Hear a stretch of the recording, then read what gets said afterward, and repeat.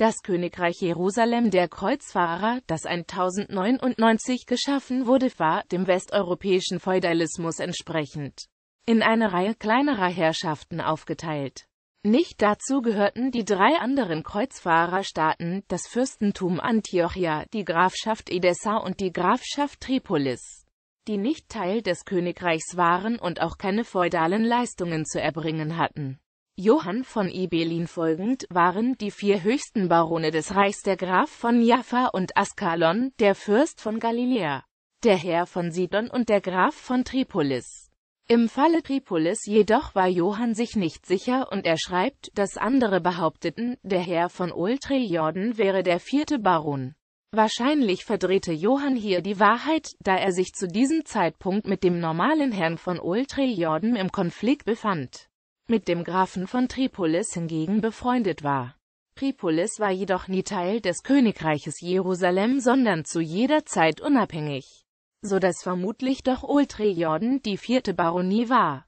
Ebenso ist in der Forschung umstritten, ob es den Status der Baronin tatsächlich gab oder es nur eine Art Wunschdenken Johanns war der selbst die Grafschaft Jaffa und Askalon besaß. Darüber hinaus führt er 16 weitere unabhängigen Herrschaften auf die Seigneurien.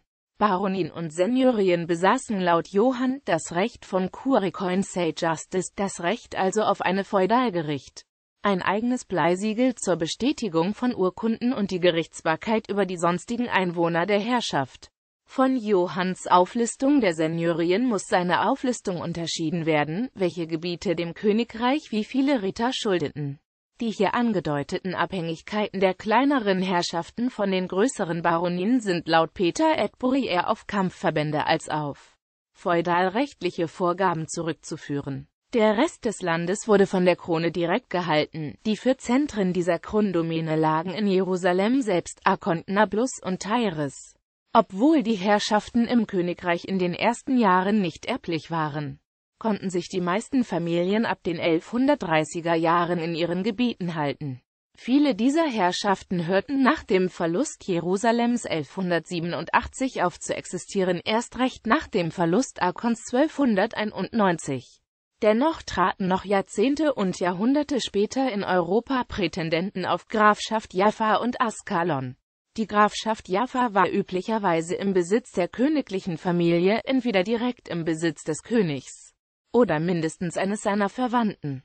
Jaffa war Ende Mai 1099 vom ersten Kreuzzug erobert, 1100 von Gottfried von Bouillon befestigt und erfolglos von Daimbert von Pisa, dem ersten lateinischen Patriarchen von Jerusalem für sich beansprucht worden, als Hugo II von Lepusit 1134 gegen König Fulko rebellierte, wurde die Grafschaft in eine Reihe kleinerer Einheiten aufgeteilt. Jaffa selbst wurde Krongut. 1187 ging Askalon an Saladin verloren, das zwar 1239 wieder zurückerobert, aber nicht wieder mit der Grafschaft Jaffa vereint wurde. Askalon wurde stattdessen 1243 von Kaiser Friedrich II. an den Hospitaliterorden verkauft, welcher die Burg 1247 endgültig an die Muslime verlor. Ungeachtet dessen nannte sich der seit 1247 amtierende Graf Johann von Jaffa auch weiterhin Graf von Jaffa und Askalon, wohl um seinen Besitzanspruch auf Askalon zu untermauern, der aber nie ausgeübt werden konnte. Am 3. März 1268 wurde auch Jaffa endgültig von den Mamluken unter Baybasi erobert. Der Grafentitel wurde noch lange nach dem Fall der Grafschaft als bloße Titulatur weitergeführt. Roger und Gerhard, Krongut, Hugo I. von Lepusit, Albert von Namur als Regent für Hugo II von Lepusit, Hugo II von Lepusit, Krongut, Amalrich I. Krongut, Guido von Lusignan, Krongut, Gottfried von Lusignan, Amalrich II, Krongut, Walter IV. von Brien, Johann von Ibelin, Jakob von Ibelin, Guido von Ibelin, Philipp von Ibelin, Hugo von Ibelin, Balian von Ibelin, Marie von Ibelin, Florin, Johann Perez Fabrice, Luis Perez Fabrice, Giorgio Contarini, N. Contarini, Giorgio Contarini. Eine Reihe von Herrschaften waren Vasallen des Grafen von Jaffa, bzw. direkt der Krone unterstellt, wenn die Grafschaft Jaffa Teil des Krongutes war. Ramla wurde ebenfalls 1099 vom ersten Kreuzzug erobert. Ramla wurde kurz bis 1101 vom Bischof von Ramla und Lüda regiert. Es ist nicht bekannt, wann Ramla eine eigene Herrschaft wurde, obwohl es einen Balduin von Ramla gab. Einem Großgrundbesitzer in den frühen Jahren des Königreichs wurde Ramla Teil der Grafschaft Jaffa 1134 nach der Revolte des Hugo II. von Lepusit eigenständig mit Balduin II. von Ramla als Herrn. Helvis, die Erbtochter Balduins II heiratete um 1130 Barisan von Ibelin und nach dessen Tod Manasses von Hirges. Ihr Sohn Hugo aus erster Ehe folgte ihr 1152. Dessen Bruder Balduin III übernahm Ramla nach Hugos Tod um 1170 und ging 1187 im Streit mit König Guido von Lusignan nach Antiochia ins Exil. Sein minderjähriger Sohn Thomas übernahm die Herrschaft nur kurzzeitig. Noch im selben Jahr wurde Ramla von Saladin erobert. Durch den vom Kreuzzug von 1239 bis 1241 bewirkten Friedensvertrag mit den Muslimen erhielten die Christen die Herrschaft Ramla 1241 zurück. Und Johann von Ibelin wurde mit der Herrschaft belehnt, um 1268 wurde Ramla endgültig von den Mamluken erobert. Balduini von Ramla Balduin II von Ramla, Manasses von Hirges, Hugo von Ibelin, Balduin von Ibelin, Thomas von Ibelin, Johann von Ibelin, Jakob von Ibelin. Ibelin wurde um 1141 gegründet. Es lag rund um die neu errichtete Burg Ibelin nahe Ramla und wurde an Barisan von Ibelin gegeben, den vormaligen Konstabler der Grafschaft Jaffa. Die Ibelins wurden in der Folgezeit die mächtigste Familie im Land und beherrschten bald weite Teile des Königreiches. 1187 wurde Ibelin von Saladin besetzt und nicht mehr durch die Christen zurückerobert. Barisan von Ibelin, Hugo von Ibelin, Balduin von Ibelin, Balian von Ibelin. Mirabel war eigentlich eine Untereinheit der Herrschaft Ramla und wohl nur kurzzeitig in den 1160er Jahren eigenständig.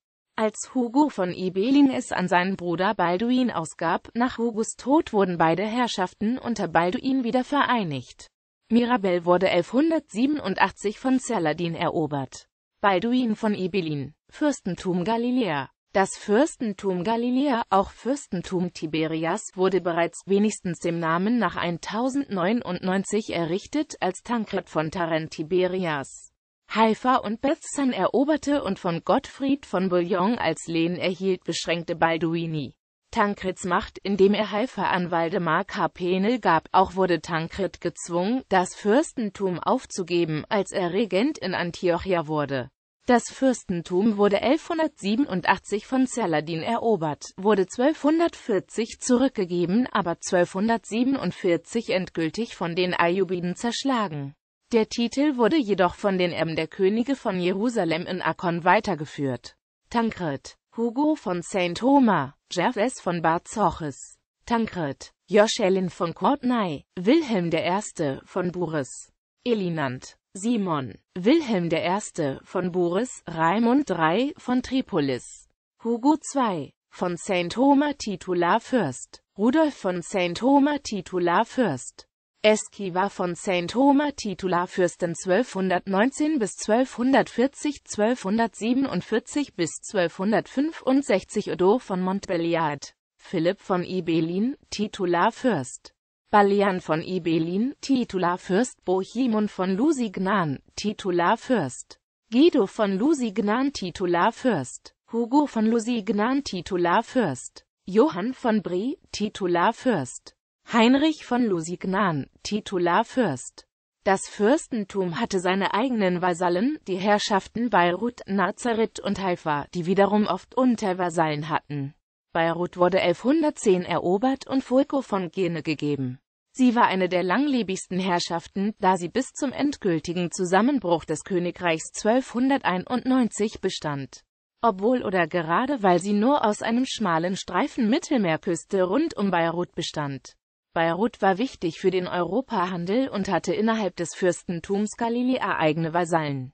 1187 bis 1197 war Beirut von Saladin besetzt und fiel 1291 an die Mamluken. Fulko von Ginne, Walter I. Brisebare, Guido I. Brisebare, Walter II. Brisebare, Guido II. Brisebare, Walter III. Brisebare, Krongut, Androniko Komnenos, Johann von Ibelin, Balian von Ibelin, Johann von Ibelin, Isabella von Ibelin Hugo II. Wilhelm Bali, Guido von Zypern-Lusignan, Hugo von Zypern-Lusignan, Guido von Zypern-Lusignan, Johann von Zypern-Lusignan. Die Untervasallen Beiruts waren, Benius wurde 1128 von den Assassinen an Balduin II gegeben, der es an Rainer Bruss weitergab, der wiederum auch die Herrschaft Esobebe innehatte, die mit Benius verschmolzen wurde.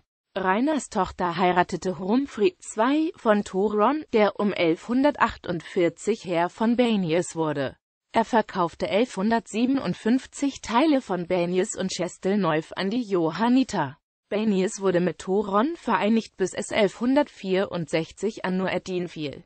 Als es 1176 zurückerobert wurde, wurde es Teil der Herrschaft Juscelins III von Edessa.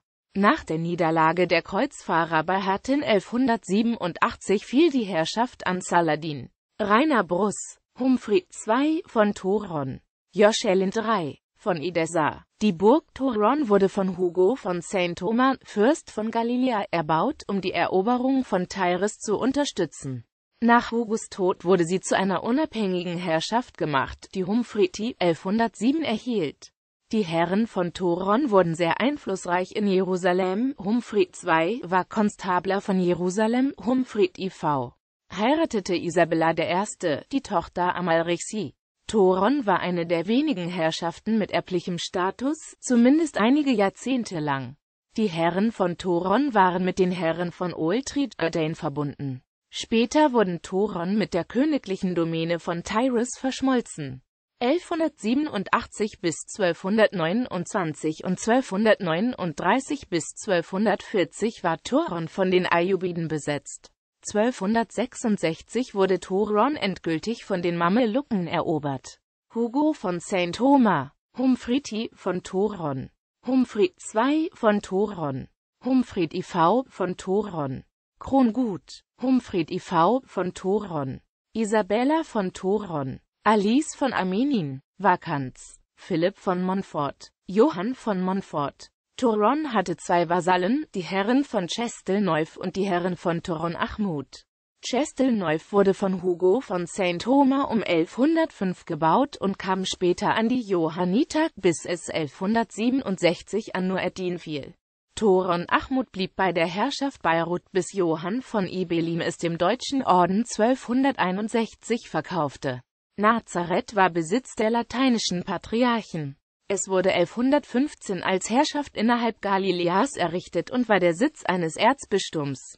Haifa, von den Kreuzfahrern Kaifa genannt, wurde am 25. Juli 1100 von den Kreuzfahrern erobert. Es war teilweise eine kirchliche Domäne des Erzbischofs von Nazareth, teilweise bestand es aus Land des Fürstentums Galiläa. Es wurde 1099 als Lehen an Waldemar Karpenel vergeben. Haifa war 1187 bis 1189 von Saladin besetzt.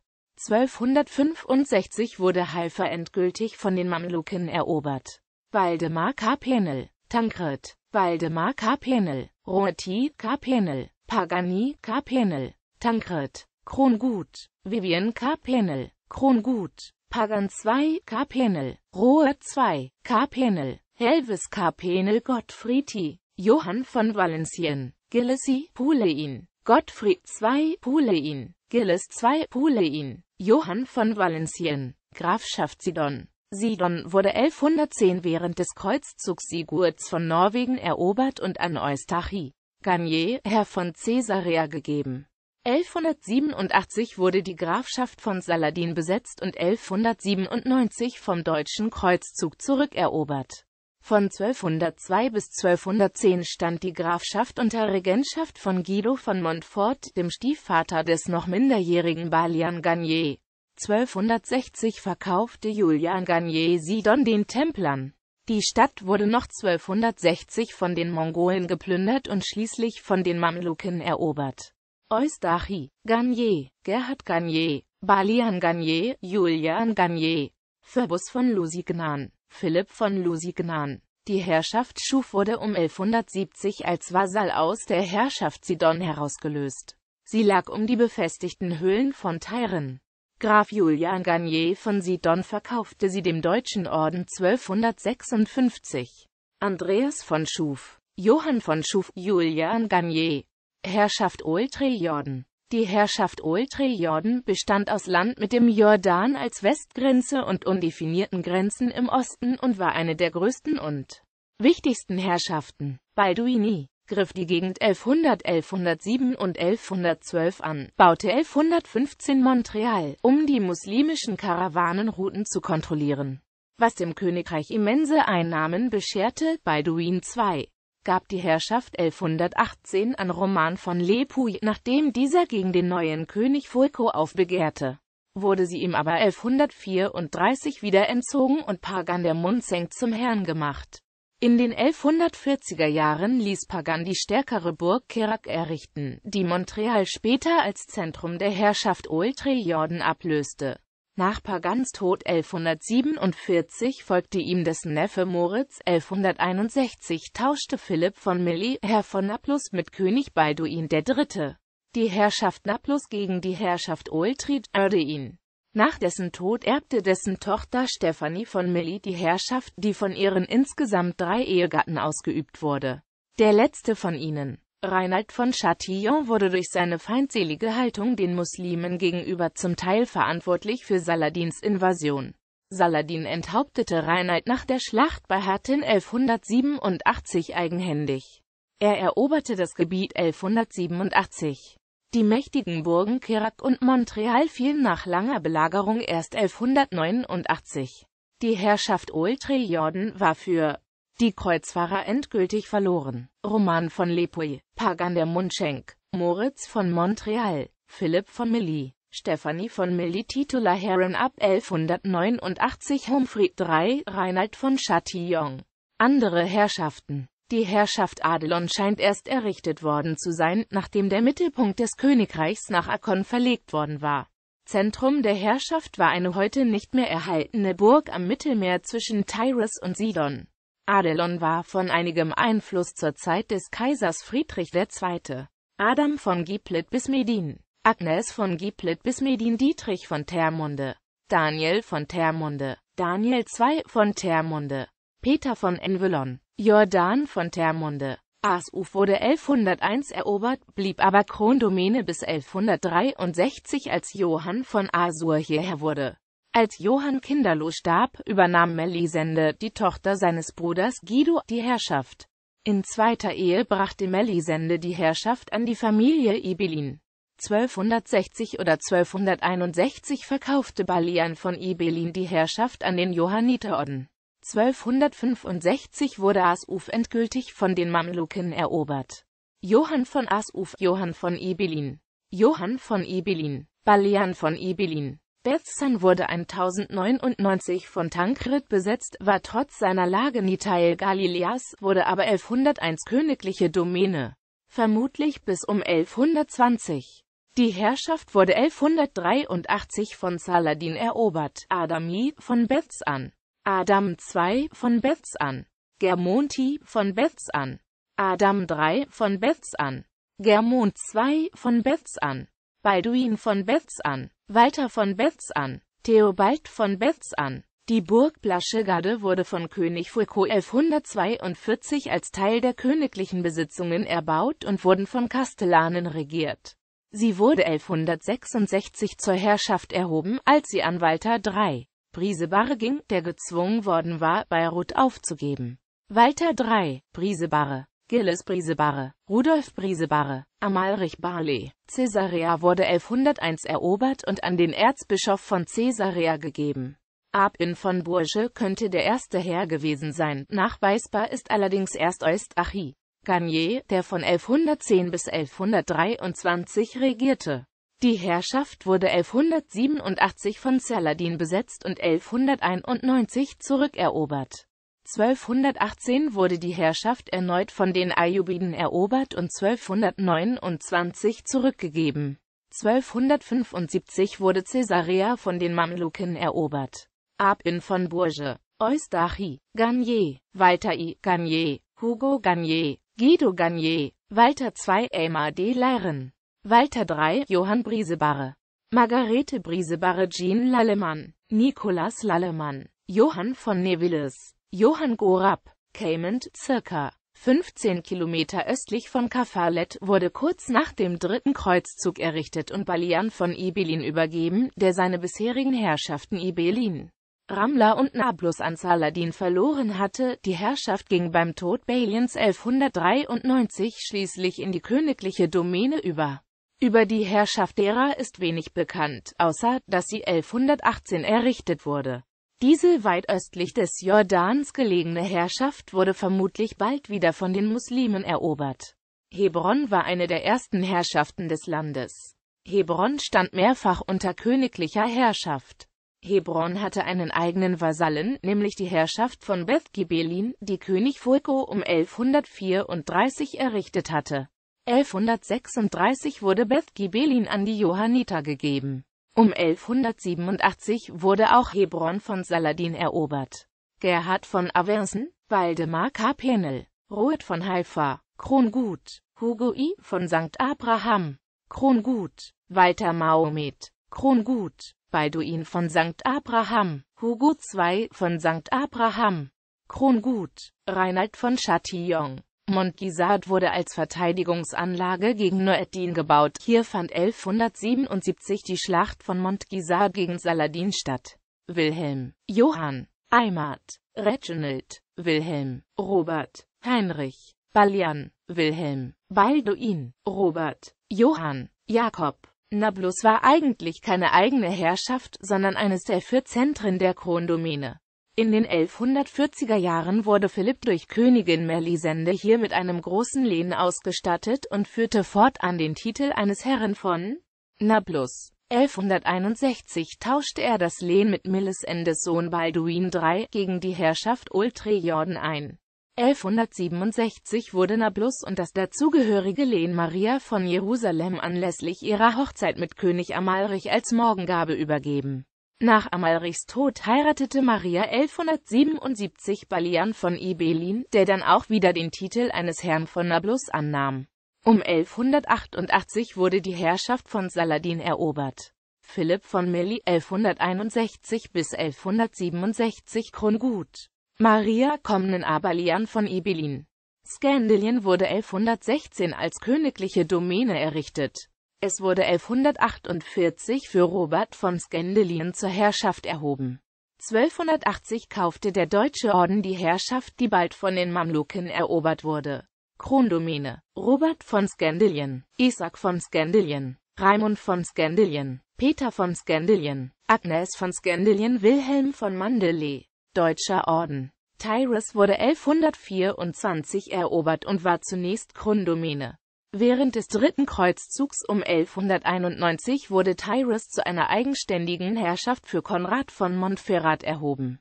Der die Stadt erfolgreich gegen Saladin verteidigt hatte, wurde die Herrschaft von den Mamelucken erobert. Konrad von Montferrat, Heinrich II. von Champagner, Amalrich von Lusignan, Krongut, Philipp von Montfort, Johann von Montfort, Humfried von Montfort, Margarete von Antiochia, Krongut, Amalrich von Tyres, Herrschaft Juscelins III. Diese Herrschaft war eine unübliche Kreation. Sie wurde an Joschelin III., den Titulargrafen von Edessa gegeben, lange nachdem er seinen Besitz verloren hatte. Anlass war 1176 Juscelins Heirat mit Agnes von Milly. Der Besitz bestand aus königlichem Land in der Umgebung Akons und umfasste unter anderem die Burgen Benius Castellum Regis und Toron.